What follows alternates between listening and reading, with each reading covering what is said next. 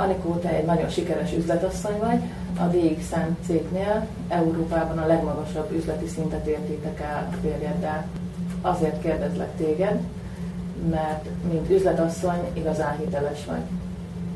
Az első kérdésem az lenne, hogy ö, szerinted nekünk nőknek milyen tulajdonságaink vannak, ami segíti azt, hogy valaki sikeres hálózatépítő legyen?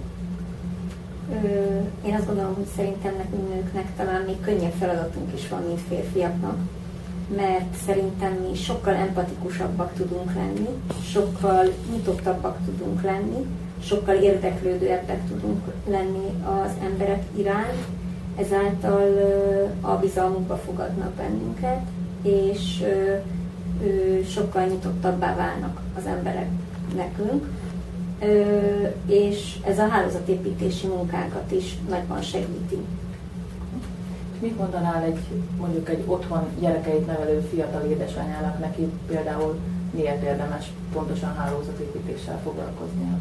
Hát szerintem pontosan egy otthon ülő kismamának a, ez a lehető legnagyobb lehetőség, talán, hogyha a célcsoportokat nézem, én a ranglétrán a legfelső listára tenném a kismamákat, a kisgyerekeket nevelő édesanyákat, mert pontosan ez az a munka, amit a gyermekeik mellett is otthonról tudnak végezni, akár az interneten online, de még a gyerekekkel együtt is, mert olyan célcsoport között mozognak, akik abszolút nyitottá tudnak válni az üzlet iránt. Nem beszélve arról, hogy teljesen kötöttség nélkül tudja ezeket a munkákat végezni, és ha beteg a kisgyerek, vagy iskolaszünet van nyáron, óvodaszünet van nyáron, ő otthonról ugyanúgy tudja végezni úgy a munkáit, a feladatai, hogy ez nem megy a család rovására, illetve a gyerekek hátrány, nem fognak ebből hátrányt ö, szenvedni. Tehát szerintem egy édesanyjának ez a legjobb választás. Az, aki mondjuk már készen áll arra, hogy vállalkozást indítson, csak mindössze a bátorság hiányzik hozzá, mit lehet mondani? Ö, szerintem a DXN üzlet a leges, legtisztább üzlet, és itt mindig önmagunkat kell adni. Itt nem az a feladat, hogy én, én valami olyat mondjak el, amiben nem hiszek.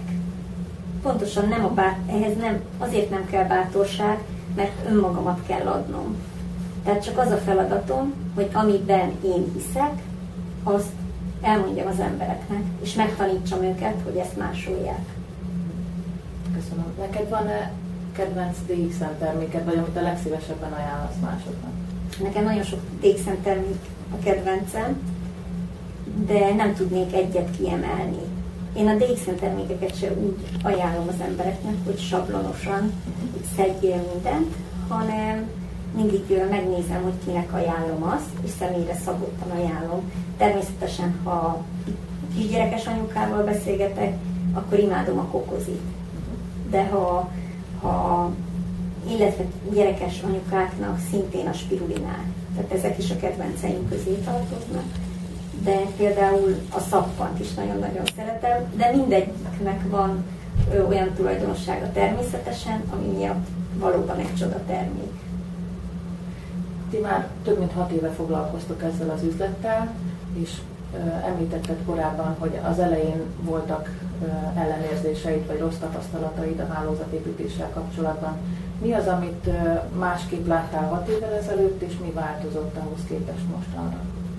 igen, valóban nagyon komoly fenntartásaink voltak az MLM-mel és a hálózatépítéssel kapcsolatban, mindaddig, amíg a DX-en nem ismertük meg, mert nekem is a hálózatépítés valóban arról szólt, amiről a legtöbb ember fejében, amilyen kép összeáll a legtöbb ember fejében, és mi megtanultuk azt, illetve be is mutattuk azt, azt gondolom hat év alatt, hogy a hálózatépítés szólhat másról is, tehát a DXN hálózatépítést mi nem úgy tesszük, ahogy, ahogy mások olvasatában ez, ez történik. Te, mint szponzor, milyen erényt tartasz fontosnak egy szponzornak? Hozzád milyen szakmai kérdésekkel fordulnak a közvetlen csapattársai? Hát ez nagyon-nagyon széles körű, milyen szakmai kérdésekkel fordulnak hozzám. Természetesen hozzák hozzám is a, az alsó vonalaikat, hogy segítsek nekik szponzorálni. Nagyon-nagyon szívesen segítek, mert én nagyon szeretem az embereket, valóban, és mindig ö, itt is személyre szabottan, attól függ, hogy kivel ülök szembe. Tehát mi általában egy ilyen egy per egyes beszélgetést szoktunk folytatni, és ö, akkor az adott ö, személyelre formálom azt, hogy, hogy miben kell neki segíteni, de szponzorálási segítséggel sokan fordulnak hozzám, és tényleg széles körben. És mit tapasztaltál az idő alatt, hogy rengeteg típusú csapattagod lehet neked is, hogy mi az a tulajdonság, vagy erény, vagy képesség, ami sikeressé tehet valakit? Mi a legfontosabb? Hát erre nincsen semmiféle szabály, semmiféle törvény, nemtől, kortól függetlenül mindenki lehet nagyon sikeres. Én azt gondolom, hogy egyetlen egy, ami a legfontosabb, hogy döntse el valaki azt, hogy megcsinálja. És akkor még sorolhatnám, hogy valóban tegye is azt, tegyen is azért, dolgozzon, és bízzon magában, és akkor sikeres lesz. Neked, most, hogy ilyen magas szintre jutottatok, gyakorlatilag a legfelső fokozatát értétek el az elérhető üzleti szinteknek. Milyen kihívások vannak még? Miben szeretnél fejlődni, vagy milyen célok felé szeretnél menni? Hát céljaink azok mindig vannak. Főként egy ilyen fér mellett nem is lehetnének, vagy nem is lehetne az, hogy nincsen. Mi mind a ketten ilyen típusú emberek vagyunk, akik, amik, akik imádunk dolgozni, nagyon-nagyon szeretjük a kihívásokat, és még most is rengeteg tervünk van.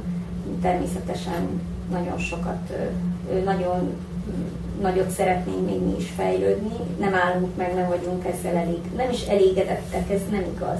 Mi szeretnénk azoknak az embereknek segíteni, akik alánk tartoznak, és nagyon csodálatos az, amikor halljuk az alsó vonalainak a sikertörténeteit, és nagyon-nagyon felemelő érzés, amikor azt érzed, hogy, hogy te ehhez hozzásegítetted őt, és célunk az, hogy minél több korambaszador legyen alattunk. Miben szeretnék fejlődni? Hú, szerintem arra nem lenne elég egy nap, hogy én azt felsoroljam.